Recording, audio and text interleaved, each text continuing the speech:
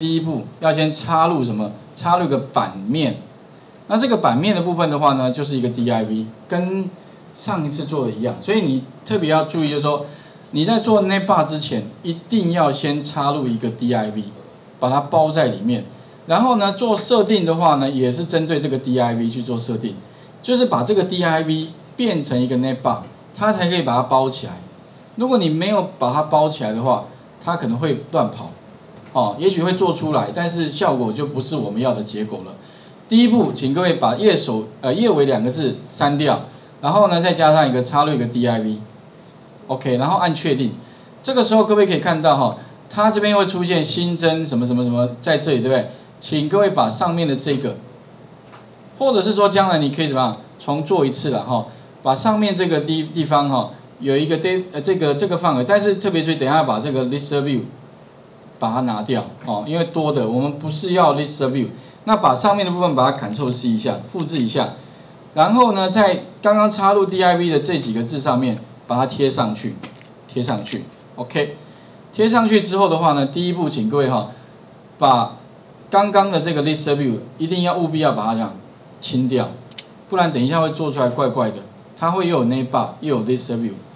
两个冲突的效果，OK，所以第一步的话呢。我们只是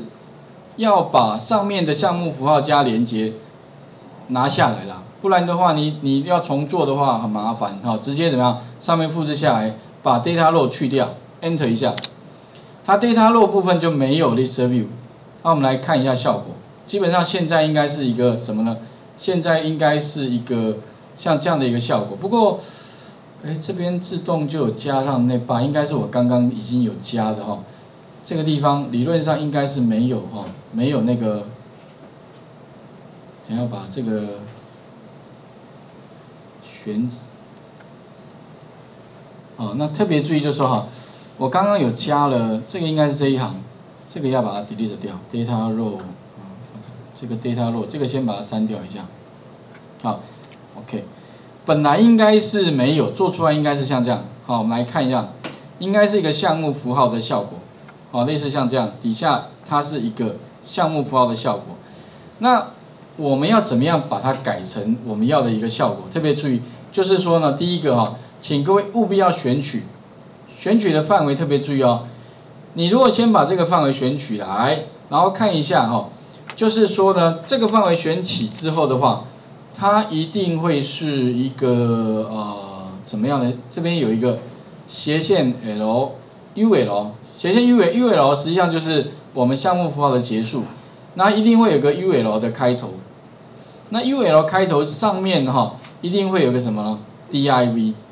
这个 D I V 实际上就是我刚刚插入那个 D I V，就是从这边一直到它底下斜线的 D I V，这个范围是我们要选取的，这个这这个部分是最难的，好，把这个范围选起来，选起来之后做什么呢？做设定 data row 就可以，好，特别需要。那我们再选一次，就是先选一下，然后知道范围之后选这个 div，一直到选到下面的这个 div，OK，选好之后的话呢，哈，确认一下好了，我看一下这个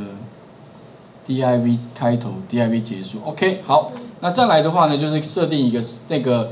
data row 哈，data row 给它一个这个呃 navbar，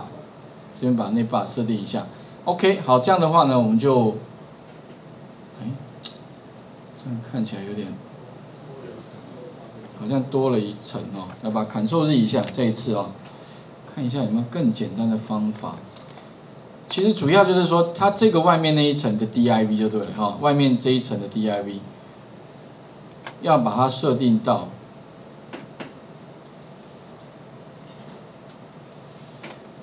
这一层，